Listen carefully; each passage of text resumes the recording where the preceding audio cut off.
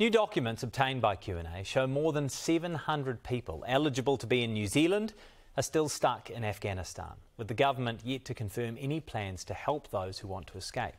In her capacity as Foreign Affairs Minister, Nanaia Mahuta is back with us. Kia ora. What is the plan to get those people out? Well, Firstly, I want to just recognise the role of the New Zealand Defence Force, who, under very uh, difficult circumstances in that emergency evacuation period, was able to help us process as many as we could uh, those uh, people who were eligible to come back. We now have around about 393 people now in New Zealand uh, that we're working with, but it is true to say that there are still a number in Afghanistan who we were unable to bring back. So. We're working uh, with uh, allied partners.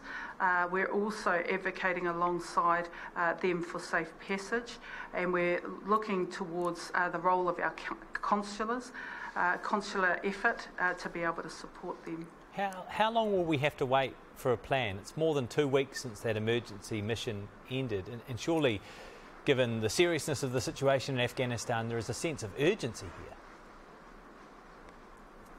Oh, look, it's a bit unfair to say that there isn't a plan. There is a plan. We want to be able to return uh, those in Afghanistan who are able to come to New Zealand to come here. Mm. But the situation on the ground is very complex. It's not as easy to, to say that there are commercial flights, uh, that the airport is indeed open, or that safe passage is guaranteed. In fact, there are some, we understand individually, who are finding their way across borders, and again, that's another set of challenge that challenges that we have to work through, and we are.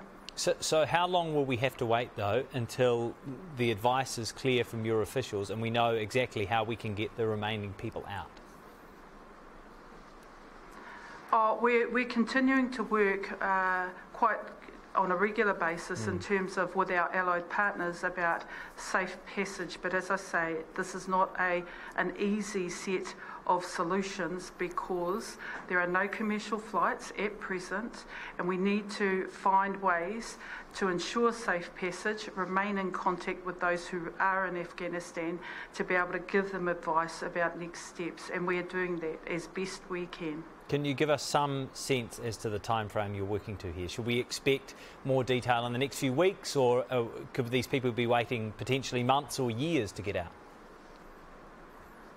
Look, we continue to uh, get regular briefings and updates about what next steps could look like, and we're critically aware mm. uh, that there are uh, people in, who remain in Afghanistan who uh, are able to come to New Zealand but are in, in a very challenging uh, situation. So we understand the urgency, but the practicality of being able to respond requires us to work with allied partners recognise that it's not as easy mm. as setting up a commercial flight. We're looking uh, to those uh, like-minded countries who have similar challenges to find a way forward. So we will do the best we can as soon as we can based on good information and the ability to find a pathway forward for them. Do you recognise the Taliban as the official government of Afghanistan? Right at present, we, ha- we have not. Uh, but that hasn't eliminated our ability to work with allied partners mm. to ensure that we're calling on the Taliban for safe passage and safe pathways to enable those who are eligible to go to other countries to do so. And we're doing that in unison, again, with, uh, with multilateral mm. partners. Prior to the fall of Kabul, what plans did New Zealand have to evacuate New Zealand citizens, residents, and those who have helped with our defence missions in Afghanistan? Well, you'll recall that there was uh, some criteria applied in 2013 uh, to uh, be able to ensure eligibility of some people. Uh, most of the uh, over a couple of million who are in third countries now are waiting to be resettled. Uh, Afghans uh, are um, subject to the UNHCR process. Um, the government at the time, I think in 2014, closed down mm. our embassy and we only had a small force uh, in Afghanistan, a small number of the New Zealand De- Defence Force who were present there right up until this time. Sorry to interrupt so you though. Our, our were there plans to get people out before the fall of Kabul? Oh, I don't think there was any. Uh, any sense that the fall of Kabul would happen as soon as it had. Mm. And the New Zealand uh, Chief of Defence uh, certainly said that uh, in his stand up during the period of the emergency evacuation, and that Mm. was raised. Uh, when we, uh, as uh, responsible ministers, presented uh, to the Foreign Affairs and Defence uh, Select Committee. We have seen um, the allies and, and partners who, whom you've referred to several times um, announce they will accept emergency intakes of refugees from Afghanistan. Canada, for example, is taking 20,000 refugees.